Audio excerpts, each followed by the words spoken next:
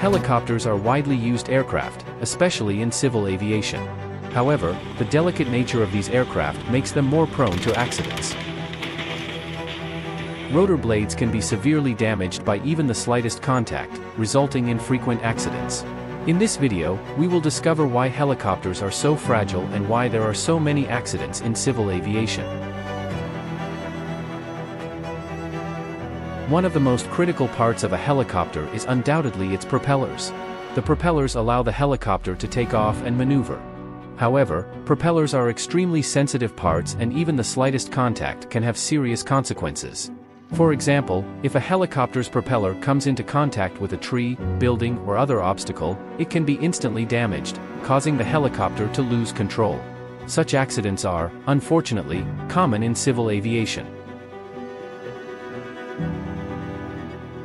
Why don't they stop the engines automatically when the propellers of the helicopters get stuck somewhere? Why can't they continue to control the helicopter even if this stop occurs? Given this, can helicopters really be considered safe vehicles?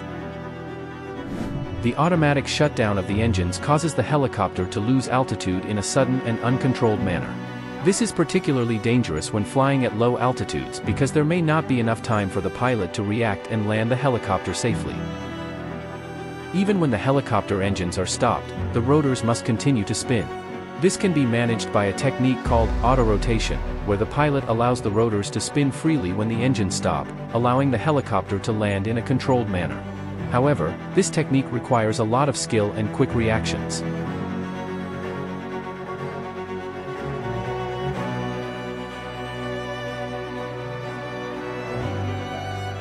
The safety of helicopters depends to a large extent on the training of pilots, maintenance procedures and flight conditions.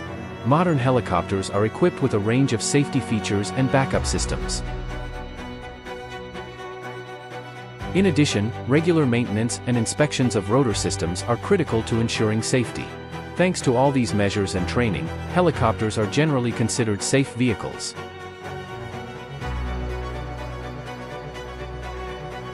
How does the delicate nature of helicopters contribute to pilot error leading to accidents? And in what circumstances do these errors usually occur?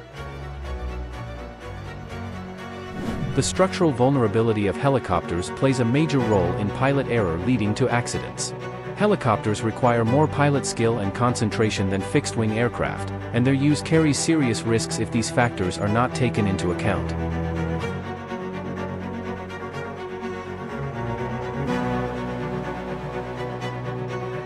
If pilots do not analyze the weather situation correctly and continue flying in bad weather conditions, this can lead to serious accidents. In particular, low visibility and high winds make helicopters difficult to control. Sudden and unplanned maneuvers can upset the aerodynamic stability of the helicopter and cause structural damage to the rotor blades. Such maneuvers occur especially during emergencies or sudden changes of decision. Pilots violating standard flight procedures or acting carelessly are also among the main causes of accidents.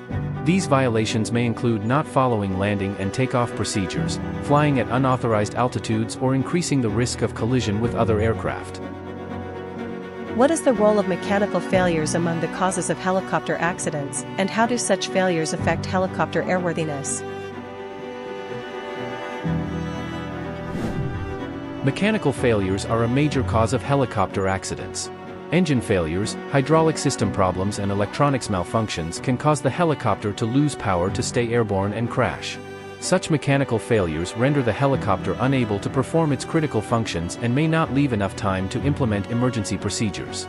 As a result, mechanical failures can lead to serious accidents and loss of life.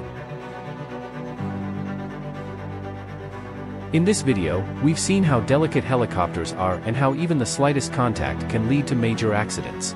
Especially in civil aviation, the number of helicopter crashes is quite high. What do you think is the main cause of these accidents? Share your thoughts in the comments and don't forget to subscribe to our channel for more content.